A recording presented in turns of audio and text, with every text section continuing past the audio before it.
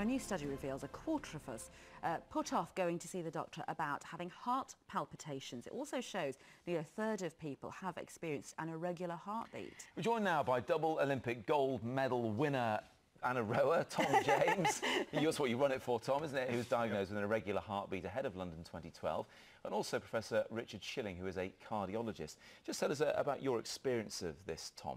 Sure. Well, I, um, uh, I was just uh, back from a training camp, I think, just before the Olympics, seven months before, before London Olympics. And uh, just woke up one morning feeling absolutely terrible. Went down to training, couldn't really do anything.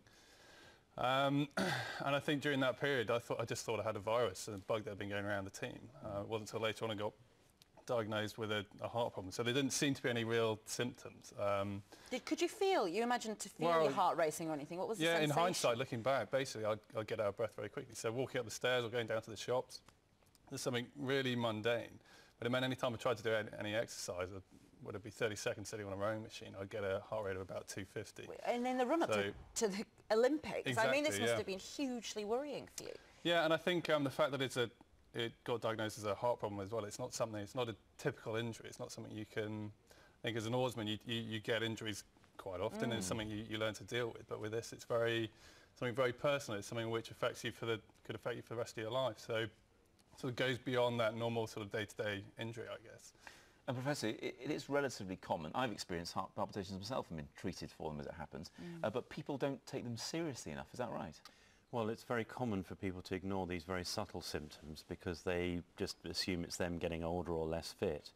And there's an easy way of identifying whether you've got a problem by simply taking your pulse. And if you notice your pulse is irregular for more than a few seconds, then that's not normal. When so, you say irregular, so what, are you, what are you feeling for? So you're feeling for a complete irregularity of the pulse. So normally your pulse should go along very regularly with the occasional skip. And if it's completely random, then mm. that's not normal. So that's something that requires further attention. And it can lead to strokes and all sorts of things, can't it? Well, it's the, the condition that Tom had, which is atrial fibrillation, is the commonest cardiac cause of stroke. So it's important to get treatment early.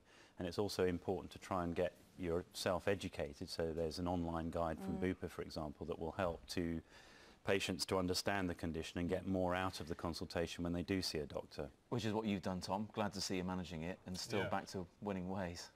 Yeah, it's uh, uh yeah. I mean, London was was phenomenal. And, mm. um, got the medals here actually. Got the medals, brought them in. Most people want to see them. Um, yeah, and it, it is just something that was absolutely amazing for all of us. And you can't almost believe it, it actually happened. It's just a sort of distant memory mm, now. It's almost sure. a year since it since it occurred. But, Look um, forward to seeing you doing it again in Rio. We'll see, we'll see. I might be there on holiday this time rather than uh, in the boat. Oh, all right, fair enough.